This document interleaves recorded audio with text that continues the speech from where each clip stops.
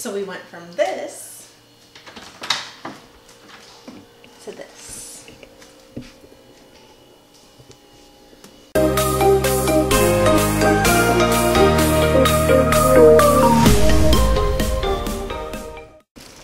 Next project. This one's a fun one. I really wanted to do it. A little bit of work is gonna go into it. Let's start spray painting. Look at the pretty colors.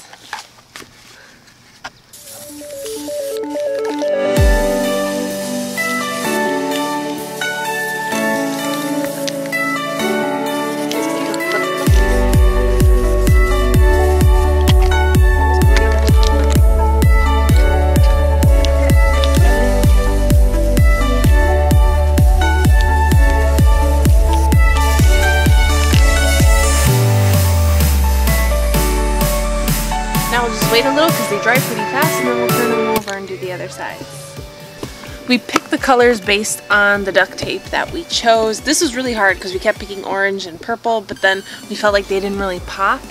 But now I, I could see orange, right? now I can see it.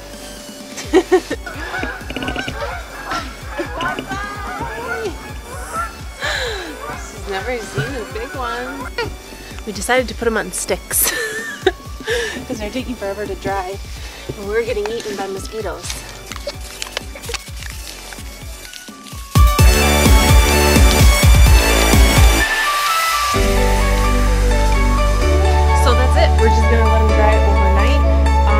We'll do any like any touch-ups if needed. I don't think it's gonna rain, but if it does rain, by the time it rains, they'll be dry. We just don't feel like outside for them to dry.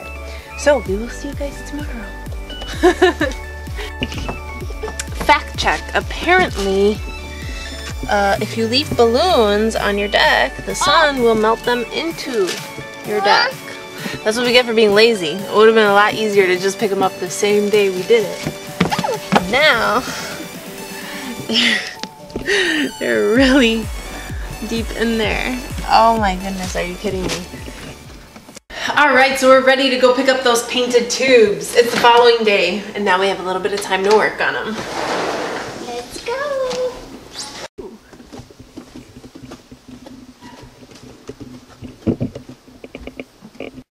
I'm just double checking them to see if we missed any spots, and then we're gonna go and do them really quick. We missed a couple, like we want the inside done too, so that when you see it, it looks really pretty. So we're gonna go get some spray paint. All right, so we did a little bit of touch-ups. We're gonna wait till that dries. Now, it's very important to make sure you get a board with holes or else your work will be like tripled. Um, the holes allow for the zip ties to go through.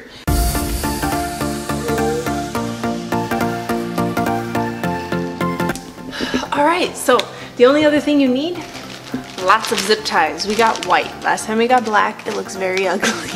this time, well not white, it's like clear, so hopefully they won't come out too much. Everything is nice and dry. Look at those colors. Oh, and duct tape, which is where the color theme came from, the tape itself. Um, just if we needed to combine anything, if we do any plastic bottles or not, those are also good to have in mind. Um, but I'll start designing and from there I'll know if I want to add anything else in. Okay, so this part is actually pretty simple.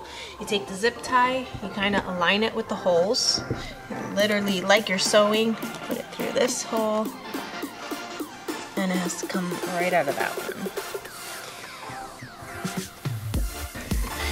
So now you align this, and you secure your zip tie, and then you cut off any access.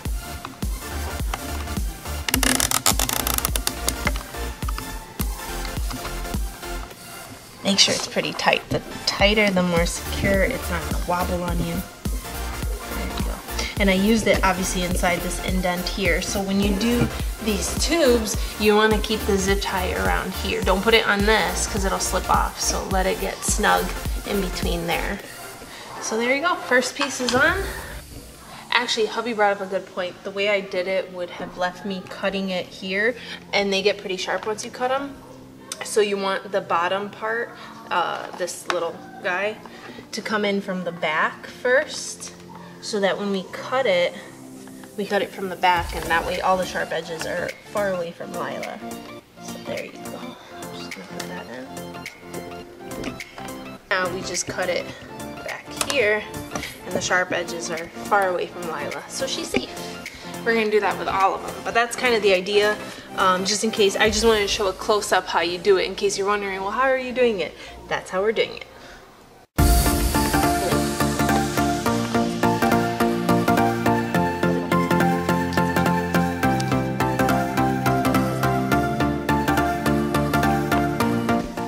Alright, so I just did the layout. There's uh, two options, whether she puts it in here or here, but there's a 50-50 chance that this one will go down this one, which is kind of cool. Um, so now we just got to secure it with the zip ties and hope for the best.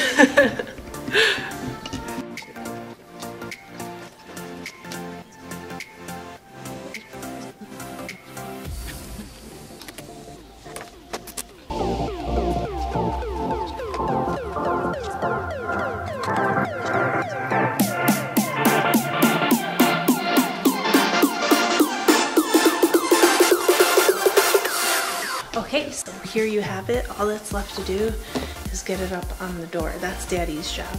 I'll help. but it came out pretty, pretty cool. We're using marbles. Or you can use a heavy ball that doesn't bounce. If it bounces, um, it tends to bounce off the edges easily and it may not go down the route it should go. Um, a couple things to keep in mind. we had to add on this little section. At first it was just a cut like that um, but it kept what is it like falling off. so we had to like put a little guard up and then at the bottom um, it shoots out and it didn't really fall out but that could be a possibility so just to prevent it we put a guard uh, I probably need to add another guard there those are the, the two things we ran into. Balls, make sure you have the right type. Ping pong balls are way too light. So they're kind of boring and they kind of just bounce around all over the place. Um, so something heavier to actually allow gravity to really pull it down. Well, Lila was napping. We finished the whole thing while Lila was napping. She hasn't seen it. It's gonna be nice when she wakes up. She loves this. We made her a cheaper version um, and we said if she really liked it and played with it, we would take the time to make her a better one. She plays with it every time I would go into the garage, so I'm like, all right, we'll make you one. Came out really nice though, I like it is done. Lila's still not awake, but it's gonna be a nice surprise because we're gonna have her open the door and see it. There you have it. Pretty cute, and I added polka dots. Just to play up the design, make it a little more kid-friendly. But overall, I'm very happy with it. So this started the concept. We knew what we wanted to do, but we didn't want to spend too much time on it if Lila didn't care for it or play with it. So we tried this out first. She absolutely loved it. So we're like, all right, all right, we got you. We're gonna make a way better one. It's kind of. I know it looks terrible compared to this one. Oh, oh, oh! What do we got for baby Lila? Are you ready for a surprise? She just woke up. Let's go see your surprise. Do you want to open the door? There's a surprise over there.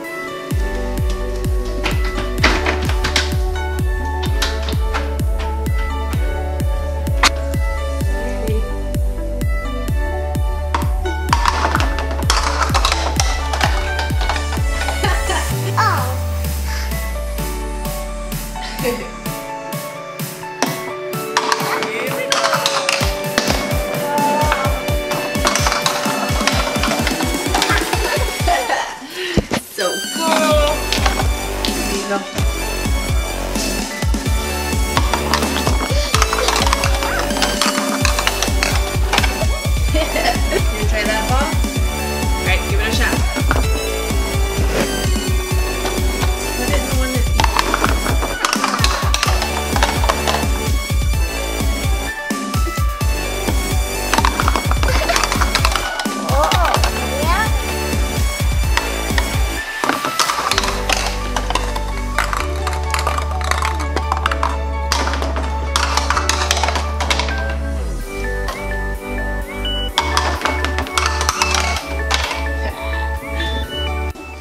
Made the cheaper version one. I've been looking forward to doing this one. I'm pretty happy with it. She enjoyed it. She kind of got lost in it for a little bit of time, um, which I like to see. Sometimes the ball doesn't go in the right way. Like a lot of the times it does, but sometimes it doesn't by the bounce or whatever.